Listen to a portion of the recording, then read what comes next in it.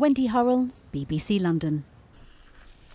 Right, as we uh, end February and uh, go into March, let's get a check on this week's weather. Here's Lucy. Hello, good evening. Unfortunately, the blue skies of yesterday don't look set to last. We're looking at a fairly cloudy and wet picture as we move through much of this week. So here's how this week is shaping up. Be often cloudy. We'll see spells of rain at times. There is a light at the end of the tunnel, perhaps. We're looking at something drier and brighter, but it looks like we'll have to wait until the weekend before we see that. Here's how it's looking then as we go through tonight. You can see cloud, outbreaks of rain shifting gradually eastward. Some heavy bursts in there at times. I think becoming a little drier the further west you are as we move towards dawn. Temperatures overnight not falling too far at all. An overnight low around 7 to 9 degrees Celsius. So tomorrow starts off on a generally cloudy and mild note. The cloud perhaps thick enough for some patchy light rain and drizzle, particularly the further east you are.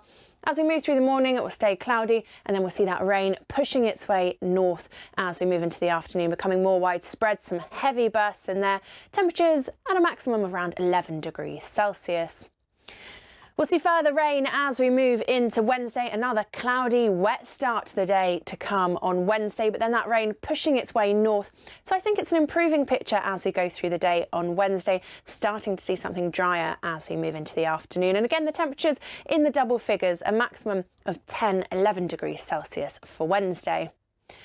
And it looks like we'll see further unsettled weather as we move into Thursday. This weather fronts push their way towards the east, bringing cloud and a spell of rain, perhaps for a time. I think any rain, by the time it gets to us, fairly light and patchy. High pressure then feeding in behind it, and that's why we'll see that drier, brighter weather coming through. So it's fairly cloudy with spells of rain through much of the week, and then high pressure taking charge through Friday and into the weekend.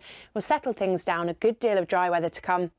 And with that, we'll see some sunny spells as well. The temperatures into the weekend just getting into the double figures, highs of around 10, 11 degrees Celsius. Bye bye. The main news headline now.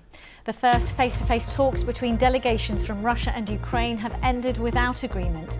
Ukraine's officials have said they want an immediate ceasefire and withdrawal of troops from their territory. Russia's negotiators have spoken of a deal that's in the interests of both sides.